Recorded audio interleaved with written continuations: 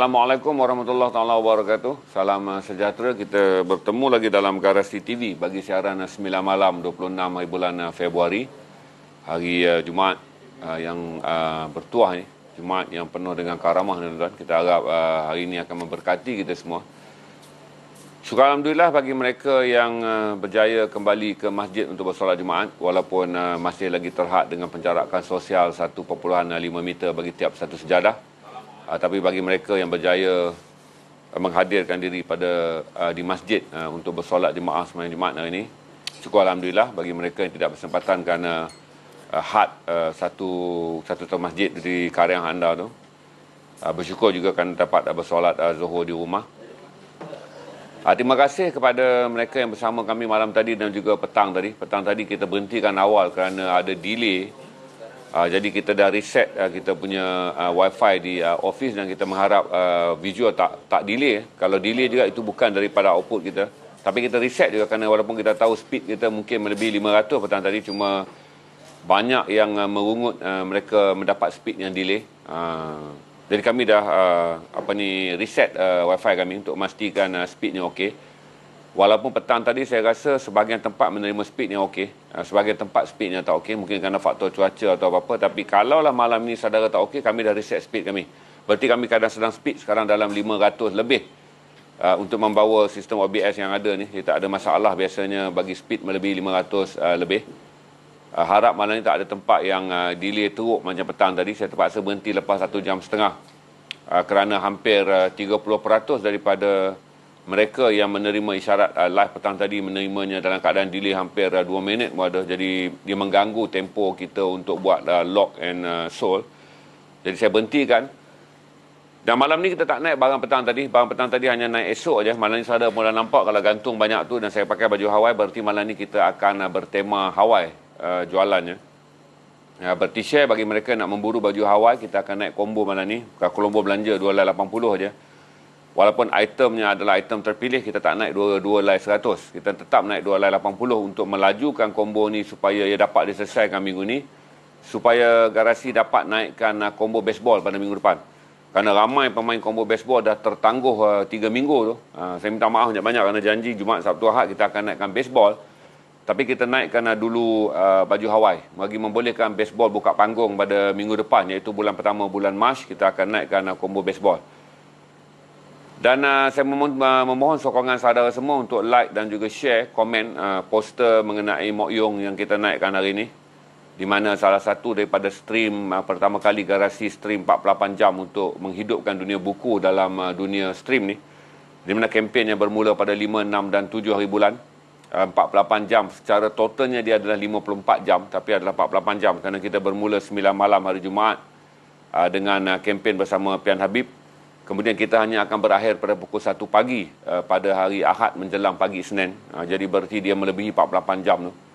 Uh, kalau lainnya okey, tiada gangguan, segalanya berjalan dengan baik, uh, saya akan lepaskan uh, barang dengan tenang dan saudara boleh menyambut dengan lock uh, dengan mudah.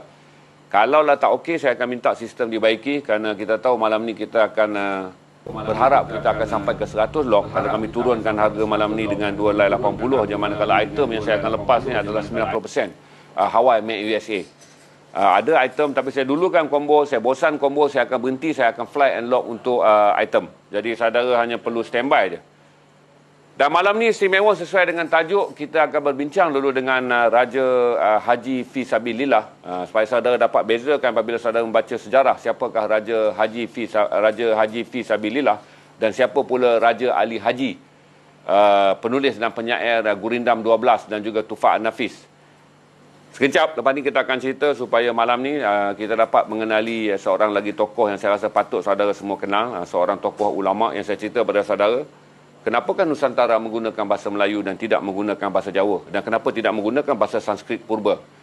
Uh, tentu orang ramai bertanya kerana dari segi Nusantara ni pengguna bahasa Jawa mencapai hampir 80 juta pengguna manakala pengguna bahasa Melayu hanyalah di sekitar 50 juta.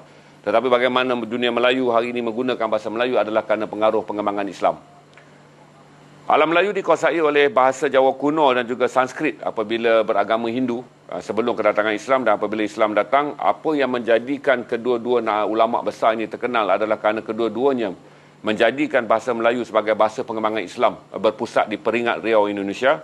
Dan kemudian apabila agama Islam berkembang dengan bahasa Melayu kerana kitab-kitab uh, agama Islam banyak ditulis daripada uh, Riau Lingga maka akhirnya bahasa Melayu telah berkembang dan menjadi bahasa Nusantara walaupun penuturnya lebih sedikit berbanding bahasa Jawa tetapi alam Melayu bersetuju mengatakan sesuai dengan sejajar dengan pengaruh Islam yang berkembang dengan bahasa Melayu maka bahasa Melayu adalah bahasa penyatu padu orang-orang di Nusantara dan akhirnya bahasa Melayu menjadi bahasa rasmi kita semua. Uh, melepaskan semua etnik untuk menjadikan bahasa etnik mereka sebagai bahasa kedua. Berarti orang Jawa boleh berbahasa Melayu dengan baik orang Aceh boleh berbahasa Melayu dengan baik orang Sunda berbahasa Melayu dengan baik Manakala bersuku-suku yang ada, kesemuanya memilih bahasa Melayu adalah kerana jasa uh, kerajaan Riau yang menjadi pusat pentadbiran dan perkembangan Islam pada abad yang ke-16. Jadi malam ni sekejap lagi kita akan cadat, tayangkan sebuah video uh, yang menarik tuan-tuan. Uh, videonya uh, daripada syarahan yang disampaikan oleh Ustaz Badli Shah Alauddin. Ini Ustaz yang kita tahulah yang saya panggil Ustaz uh, dokumen uh, Ustaz apa ni library bergerak ni, dokumen dokumentasi dan fakta semua dalam kepala beliau. Uh, seorang uh, genius uh, Melayu dalam dunia dakwah ni tuan-tuan. Saudara akan dapat melihat videonya nanti. Tapi sebelum sampai itu saya nak ceritakan dulu bahawa ada dua nama yang hampir serupa, hampir serupa tetapi dat atuknya yang kita akan cerita malam ni adalah Raja Haji Fi Sabilillah uh, lahirkan pada tahun 1727 uh, dan kembali ke Ramatullah pada tahun uh, apa ni 1723 uh, 1727 kembali pada Rahmatullah pada tahun 1783 Manakala Raja Ali Haji yang terkenal dengan Gurindam 12 dan Tufak Nafis uh, dilahirkan di Selangor pada 1809 uh, dan mangkat uh, di Riau uh, pada tahun uh, 1874. Jadi ada beza kalau saya nak baca ni tapi dua-dua adalah tokoh besar. Cuma malam ni kita akan mainkan sekejap lagi. Lepas ni tuan-tuan, sabar sekejap. Uh, video uh, 4 minit untuk saudara mendengar syarah uh, Ustaz uh, Badli Shah Alauddin yang kemudiannya seorang pendakwah video lah saya panggil YouTubers yang mengerjakan dakwah ni telah memasukkan video-video yang menarik untuk saudara faham uh, siapakah ulama yang kita perbualkan hinggalah diberi namanya sebagai Raja Haji Fi Sabilillah. Tak sesiapa saja yang mengenali Raja Haji Fi Sabilillah mustahil akan melupakan uh, cucunya Raja Ali Haji bin Raja Ahmad uh, yang terkenal dengan uh, Gurindam 12 dan juga Tufat An-Nafis. Uh, mereka ini daripada golongan uh, Bugis Dain Celak. Untuk pengetahuan saudara, terutama yang mereka yang tinggal di Selangor, Kesultanan Selangor adalah kesultanan yang dua beradik dengan Raja Haji Fi Sabilillah. Uh, berarti Raja Salihuddin yang membuka negeri Selangor adalah adik kepada Raja Haji Fi Sabilillah yang kita akan bincangkan malam ni. Tapi sebelum tu, Mahfuz akan tunjukkan dulu uh, carta berapa kita ada angka malam ni? Ha, kita akan berkongsi sebelum kita sampai kepada Raja Haji Fi Sabilillah kita tengok dulu angka hari ini. Ha, syukur alhamdulillah kepada Allah SWT Jumaat yang sangat berkat kes baru hanya 2253 manakala kes, kalau kes pulih kekal tinggi, tinggi uh, 3085 orang. Kematian hanyalah 11 uh, berarti jumlah kes aktif yang masih berada di pusat isolasi dan juga rawatan hospital hanyalah 27974 kes. Berarti minggu ni kita berada di bawah paras 30 dan kita mendoakan pada hujung Mac uh, kita akan berada di bawah paras jangkitan uh, 20 uh, 15000 dan pada April kita berada di bawah parah ribu-ribuan dan Mei kita berjaya mencapai matlamat yang diilhamkan oleh Kementerian Kesihatan Malaysia iaitu hanya dua angka jangkitan uh, sehari pada Mei. Jadi itu yang Mafiz uh, tunjukkan. Yang kedua sah apa yang saya katakan uh, Perdana Menteri hari ini mengatakan mereka yang tidak divaksinkan uh, kemungkinan akan menghadapi uh, pergerakan dihadkan. Uh, jadi semalam saya ramal-ramal berdasarkan logik uh, fakta berikutan uh, saya pernah melihat begitu banyak wabak uh, bergerak di seluruh dunia terutama ketika makna jaitis dan juga Ebola menyerang Afrika uh, dan SARS uh, pertama uh, menyerang pada tahun 2002 dan SARS kedua yang dikenal sebagai MERS uh, COVID itu menyerang menyerang uh, Asia pada 2003 Uh, sekarang barulah datang COVID. Jadi pada mereka yang menjadi kumpulan anti vaksin ataupun sengaja yang tak mau divaksinkan walaupun vaksin adalah pilihan, jangan marah kalau selepas ini saudara adalah orang yang dilarang untuk membuat sebarang penerbangan keluar negara. Selain daripada saudara dilayan sebagai warga kelas 2 di peringkat antarabangsa, saudara mungkin dilayan sebagai warga kelas kambing di tanah air sendiri apabila ada restoran, ada apabila ada mall, pusat beli belah, apabila ada pewagam dan tempat-tempat tertentu yang mengatakan sekiranya air sejahtera saudara tidak mengesahkan saudara divaksinkan, maka saudara dianggap sebagai personan non grata, iaitu orang yang dihalang daripada berada di satu tempat di atas ketidakperluan kerana saudara dibimbangi sebagai perumah dan pembawa wabak virus 19. Okey itu uh, bagi tahu saya dah bagi tahu kepada saudara. Jadi yang mana berbangga-bangga dan uh, bertemasya uh, untuk tidak divaksinkan dan bersedia uh, untuk hanya hidup di antara uh, rumah dan beranda saja. Kalau sekiranya uh, selepas pemvaksinan penuh dilakukan di seluruh negara pada tahun 2022, uh, saudara menjadi persona non grata termasuk di tanah air sendiri. Perkataan persona non grata digunakan sebagai orang yang tidak diperlukan di satu tempat dan tidak diraikan kehadirannya. Malah uh, diunjurkan untuk pergi meninggalkan tempat di mana dia berada. Itu kata kesat yang dikeluarkan persona non grata yang selalu digunakan dalam istilah uh, suaka ataupun di istilah uh, penghalauan mereka yang berada di sebuah negara tapi mereka tidak diperlukan. Okey, uh, kita mula dulu dengan video Mahfuz uh, tentang uh, kan minggu lepas kita cakap bila polis tembak penjenayah uh, timbullah NGO-NGO yang meminta polis disiasat. Uh, minta macam-macam. Polis tak ikut SOP lah. Uh, polis adalah pembunuh masa uh, macam-macam lah NGO ni nak jadi juara. Tapi tengok video hari ini bagaimana penjenayah ini mengancam nyawa dua anggota polis dan juga nyawa pengguna jalan raya. Lihat video ni dan penjenayah ni katanya telah pun ditahan petang tadi di Sungai Buloh. Mahfuz akan play video ni untuk saudara menilai semula bagaimana bahayanya pasukan keselamatan berdepan dengan polis dan apakah kita perlu menyokong NGO yang terus saja menyerang polis setiap kali polis membunuh penjenayah. Tengok video ini dan buat pertimbangan.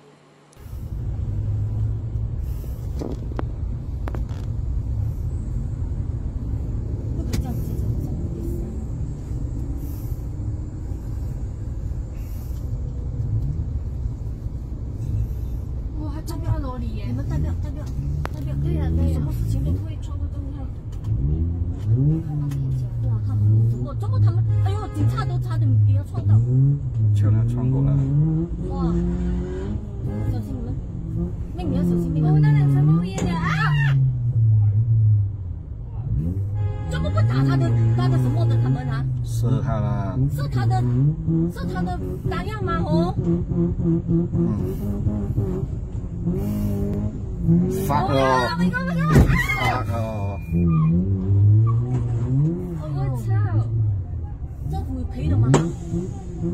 Cháu nó hậu sơ rồi. Ôi, cháu xin thật tay thật không? Biết chấp hậu Điều nó dù này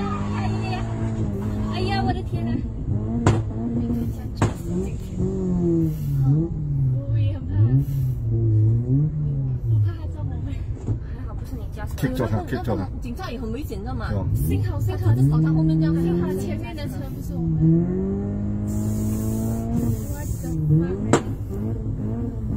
是哈！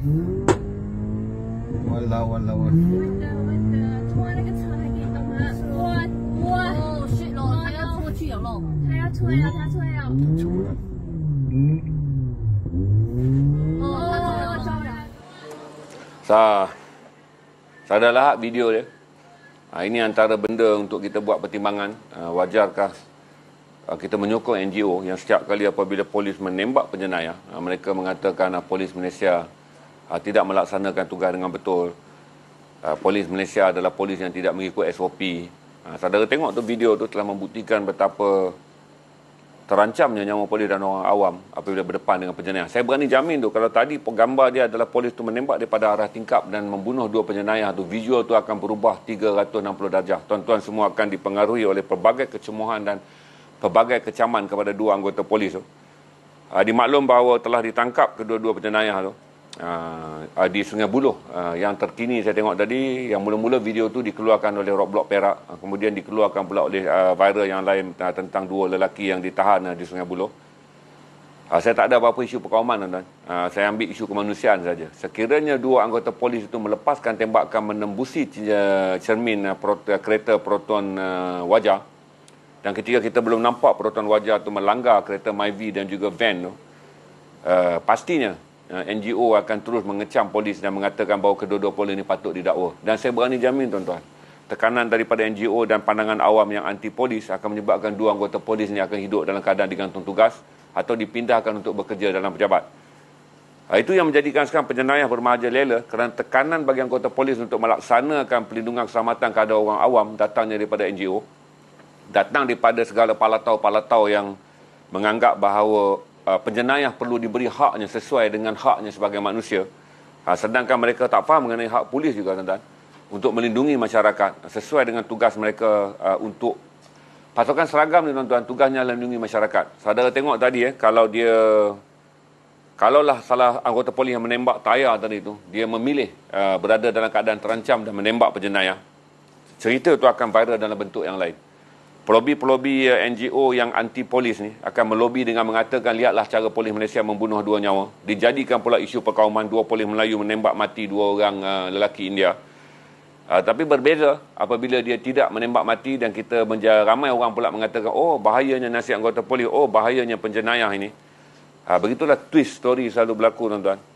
Dan kadang-kadang menjadi polis hari ini uh, tidaklah mudah selain orang kecam satu dua polis menerima rasuah orang mengecam seluruh uh, pasukan seragam biru ni tuan-tuan uh, sebagai uh, sentiasa menjadi bahan kecaman. Uh, tapi saya tengok nyawanya tu. Jadi saya tak mau bincang panjang hanya tepuk dada tanya selera. Uh, dan saya menyindir NGO-NGO yang selama ni saya tak faham kenapa mereka meletakkan uh, hak penjenayah untuk mendapat keadilan lebih tinggi daripada hak polis untuk melindungi diri dan hak polis untuk melindungi masyarakat daripada ancaman jenayah. Kita akan balik kepada tajuk asal Raja Haji Fi Sabilillah. Uh, saya mengucapkan terima kasih dan minta halal lah kepada Ustaz uh, Badli Shah kerana menyebarkan uh, video ni berasal daripada kuliah beliau. Ingat uh, video ni tak dibuat berdasarkan uh, video kuliah. Uh, video dia diasaskan daripada kuliah audio. Kemudian seorang anak muda mengambil video-video berkaitan daripada filem ke apa dia satukan itu tak apa. Sama-sama kita sampaikan syiar dan garasi nak berkongsi dengan saudara untuk mengenali uh, seorang tokoh yang mengembangkan Islam yang menghidupkan bahasa Melayu yang menjadikan uh, rantau Melayu uh, berkembang dengan Islam sebagai uh, agama Nusantara dan bagaimana kemudiannya Islam ini berkembang, berkembang dengan bahasa Melayu juga berkembang sebagai bahasa rasmi agama Islam dan akhirnya rantau ini dikenali dengan rantau Melayu kerana bahasanya suku-suku yang bercakap dalam bahasa yang berasingan kemudian menerima mereka sebagai suku rumpun Melayu. Kita saksikan uh, video sekarang 4 minit uh, mengenai Raja Haji Fi Sabilillah lahir 1727 uh, mangkat pada uh, 1783 sumbangan beliau dalam perang mempertahankan Selangor dan Melaka. Saksikan.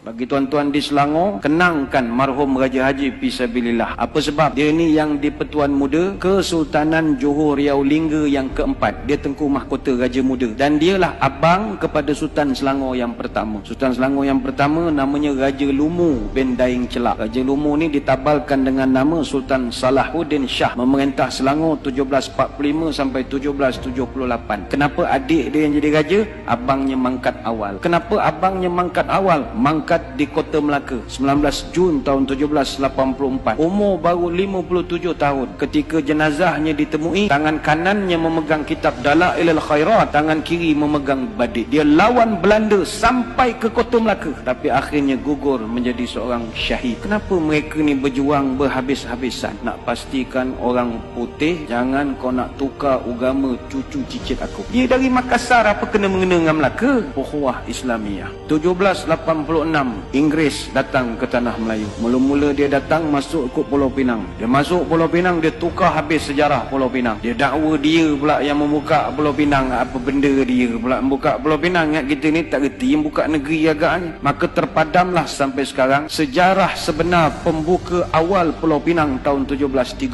Siapa yang buka Pulau Pinang tahun 1730? Datuk Jenaton. Datuk Jenaton ni atau nama sebenarnya Jenan bin Rajo Labu bin Rajo Gandam bin Rajo Raja Manguyang dari Gunung Sahilan bin Raja Kuaso bin Raja Bakilap alam bertegak gelar tungku bagaiwang yang pertama Raja Alam Minangkabau. Mak dia putih sangat Indo dunia orang Pagaruyuang orang Sumatera yang membuka Pulau Pinang. Tapi sejarah itu dipadamkan dengan kemasukan Inggris 88 tahun kemudian dia tipu pula orang Melayu. Tahun 1874 menerusi perjanjian Pangko yang penuh dengan muslihat. Akhirnya orang putih jajah negara kita berapa tahun? Bukan 10 tahun 117 tahun. Tapi adakah nenek moyang kita tidur? Tidak. Bangkit satu persatu. Dol Sa'id, Rentap, Mat Saleh, Maharaja Lela, Tok Bahaman, Tok Janggut, Haji Abdul Rahman Limbung. Dan senarai itu begitu panjang sekali. Apa rasional mereka berjuang? Allah. Sebab itu orang tua-tua wujudkan satu perkataan namanya merdeka. Merdeka ini simbolik daripada huruf Mim, Ro, Dal, Ya,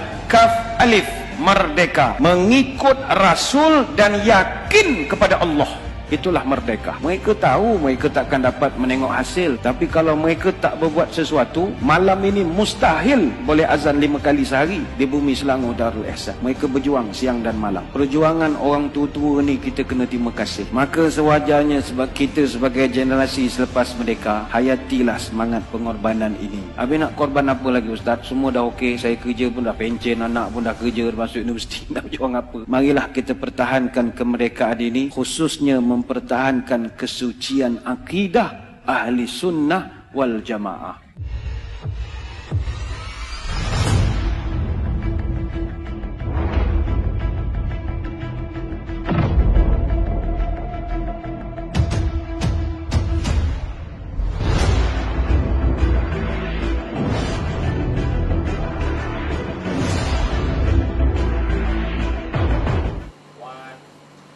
Syukur Alhamdulillah, terima kasih banyak pada kuliah Ustaz uh, apa ni Badli Shah uh, Alauddin. Uh, Ustaz, mohon halal ilmu Ustaz kami berkongsi malam ni. Dan juga video ni juga mohon halal kepada pembuat video ni kerana kita berkongsi nak mencari sumbernya agak uh, payah tapi bila saya menontonnya saya rasa terharu saya berkongsi dengan saudara.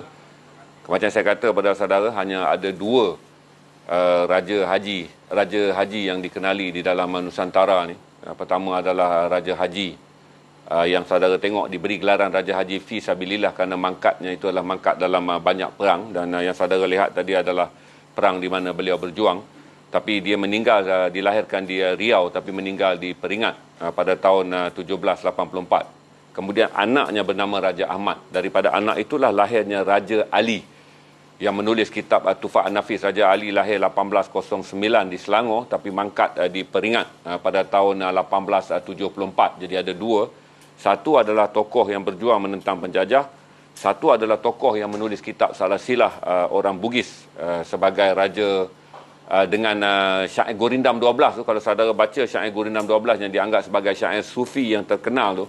Uh, bukunya tak dapat saya jual. Saya cuba dapatkan untuk saudara baca. Itu ada karya sufi tu. Syair 12 tu yang Gurindam 12 yang sangat terkenal tu.